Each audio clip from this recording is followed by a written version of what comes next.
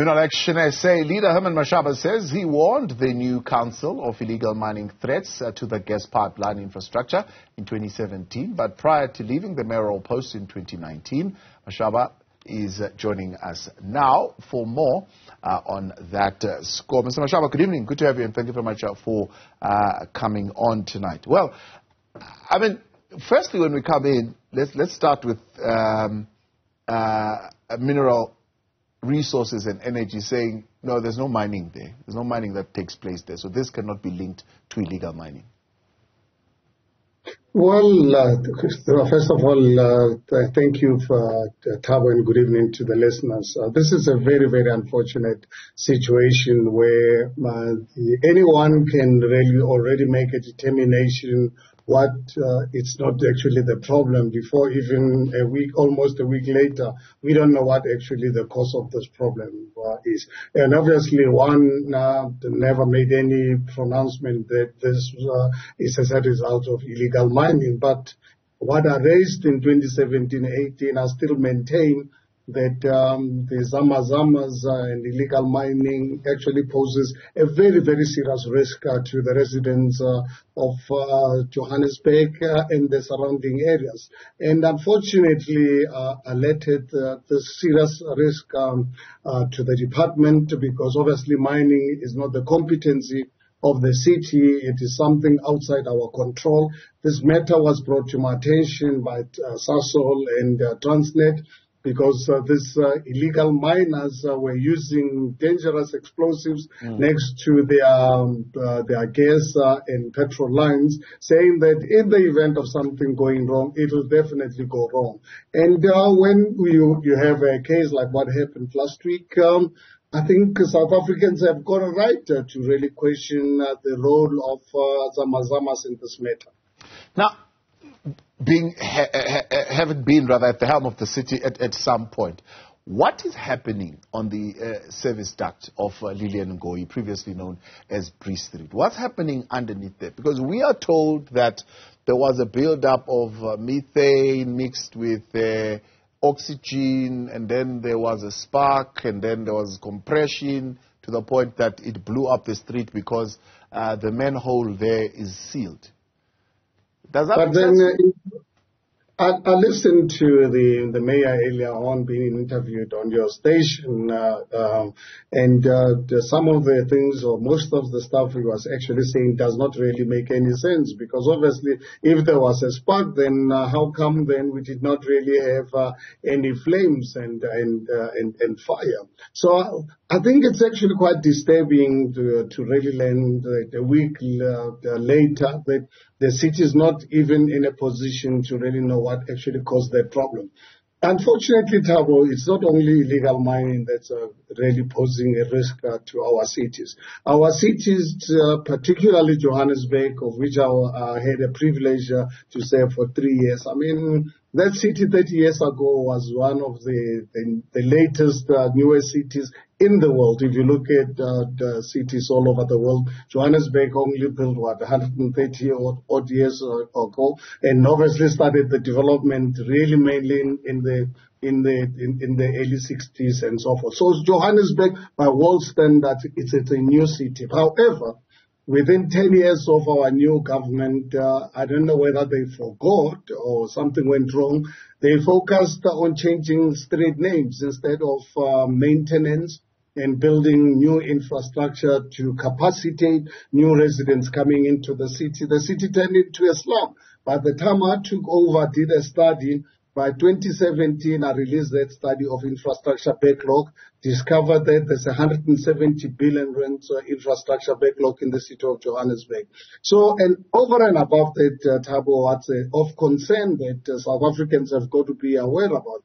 It's not only the Zamazamas and the lack of uh, maintenance and building new infrastructure. It's about allowing criminal activities uh, destroy our infrastructure with complete, complete impunity. Mm. That's really something that is of major concern because uh, we've opened our borders, allowing uh, drug dealers uh, to bring drugs to destroy our youth. Mm. And in the process, this youth then destroy our infrastructure because every piece of steel, they don't care whether it's on a bridge or anywhere, They take this this uh, uh, infra, this steel, take it uh, to this uh, scrap, uh, scrap dealers, and what they do with it process it and send it out of the country. And what happens? We see it with everything really very shaky. So I think we are really facing massive, massive challenges as a country. And if we're not going to arrest this one of these days, we'll see a major explosion. We'll see really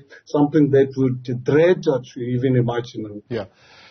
You, you see, uh, and, and it's this question of a week later, we still don't know what the source is. That really brings a whole lot of, of, of, of, of questions to my mind. But, and, and one of the questions is, uh, and purely in the realm of speculation here, what are the odds what? of, of uh, uh, the officials coming up with what the source is? Because uh, scientists are saying, look, if this was a leaking pipe and it exploded in such a way that it exploded, anybody by the time they got underground would have seen this thing continuing to leak and it would have been leaking in a very obvious way. It would not have taken us a week to figure out where the source of this leaking gas was, was coming from. Uh, uh, and, and, and we are still now sitting trying to determine where it's coming from. Do you think these officials are ever going to find out where this thing is? Well, unfortunately, the, the caliber of uh, officials that we've got in our municipalities, and it's not only in Johannesburg, it's actually literally most of the municipalities in this country, not only municipalities up to national government, uh, from our politicians up to the administrators. This cadre deployment has been a case in this country uh, that uh, it's uh, putting us where we are today because um, senior people running government are not there because of what they know, is because of who they know. So that's why we, we end up uh, with uh, people who don't really know uh, what is what is happening. You, you might obviously find that, that and this is not a joke. You might find that right now um, um the, the, government and the officials are actually looking at uh, um, um, tenders uh, to, to, to help them determine so that money can be made. Because for them, uh, every tragedy in this country is an opportunity for them to make money. Perhaps uh, this delay is because they can't find someone prepared to cooperate with them to uh, to sort out this matter and make money in the process that's a, that could really be a possibility because we've experienced it um, uh, during uh, COVID and, other uh, cases of um, uh, tragedies in this country where officials, instead of um, taking appropriate uh, timely actions, what they do, they wait uh, for opportunities to make money. They see this as an opportunity. Having warned them, uh, particularly in your case, about the effects and the impact of illegal mining and, and just illegal activity of vandalizing and destroying of infrastructure that is taking place, then the next question is what the, the, the mayor there tried to, to answer as well, is a threat of a similar disaster occurring uh, again very, very extremely high, not just high. Uh, if you rate it uh, uh, uh from uh, the rate uh, 1 to 10, I can tell you we're sitting at a very, very high risk. I, I know in Johannesburg, surrounding areas, uh, Ekurhuleni up to, to Mogale City, because in 2017-18, when this matter was brought to my attention, I actually wrote first to, to the Minister of Minerals and Energy, and when when I was I was not getting any response, just even an acknowledgement as executive mayor of the city of Johannesburg, bringing something of this serious nature to the attention. What they did, they decided uh, to report me to the Human Rights Commission for, for being xenophobic. I don't understand what xenophobia had to really do with um, with with this particular matter even up to today, I've not really received any any uh, uh, acknowledgement. I then uh, uh, took a decision, invited the media. I was I was accompanied by the media throughout the day, showing them all the risk side. The, biggest area where there's a serious serious uh, risk is an area next to the FNB Stadium uh, and uh, Riverlea area and those surrounding areas. Those communities are sitting on a time bomb because uh, those uh, Zama Zamas are still there even up to today. Now, you are part of the city of Johannesburg as Action SA and, and therefore very close to, to, to, to the processes in that sense. We know that a road has got to be rebuilt uh, to, to, to, an extent, and some infrastructure, uh, probably electricity and water infrastructure, that would need to be uh, addressed. A lot of money is going to be spent. I don't know whether it will be coming from the city, will be coming from province, uh, or will be coming from national, because this has been uh, a disaster. What, what is your plan around ensuring that what we saw during COVID-19, when people were dying uh, and money was stolen, doesn't happen now?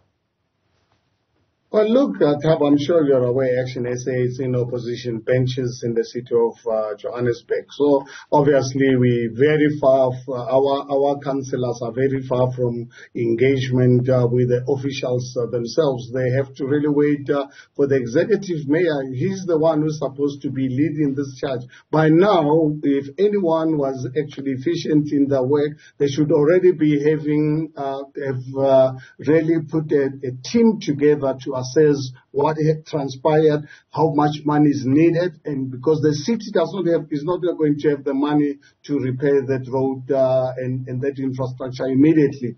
What you do then, that's when you then prepare a report to the province so that that area is declared as a disaster area so that you can get uh, special uh, funding from national government uh, through the province. But I don't really believe that um, uh, the current mayor and his, uh, his current executive, they are aware about such processes to really be necessary because what happened last week when this whole thing took over, we, we saw the premier already obviously disregarding the laws. Uh, in fact, I remember asking if the city was already under administration without uh, us as residents being informed. But as he is now disappeared because uh, some issues were raised. Right now, the, the, uh, the executive mayor is not the city manager. He's the one who's supposed to be leading the, this um, process on ensuring that uh, they can do um, preparations uh, and assessment uh, so that um, they can see how much money they require and then make applications to uh, to the, to the uh, national government through the province. That's when you then ask uh, for the intervention of of uh, the premier. But uh, I don't know. As I say, I, I see the last few days he's completely disappeared. Maybe he's gone on holiday or something because he must be tired. He really worked hard yeah. last week. I think I saw his picture is at the ANC's uh, local government intervention summit. I'm sure that's that's uh, has been keeping him a, a little bit busy at the moment. But the other question that uh, I'm sure, uh, I don't know if Action SA would, would, would have asked, there are people, of course, who have been injured uh, in, in, in this process and, and, and whether they have received any support, and we know that at least one life uh, has been lost. Well, I think uh, the city has got an obligation, and the city does not really have the resources. I think, I mean, it's a it's it's a well-known fact that uh, uh, the city is under serious financial strain. That's why, as an executive mayor, you need to really work very fast. But then you need to competent, committed uh, civil servants being led by the city manager, but obviously with the direction of uh, the executive mayor. But I don't really believe the executive, the current executive mayor has got the capacity or the knowledge of where to start. Uh, he listens to everybody else and uh, he takes instructions from them. Action SA leader Herman Mashaba, appreciate your time. Thank you very much uh, for joining us. Uh, that is uh, a leader of Action SA there, uh, uh, and uh, responding, of course, to the challenges in the city of Johannesburg following that explosion and what he knew in the year 2017 up to 2019 or so when he was at the helm of the city.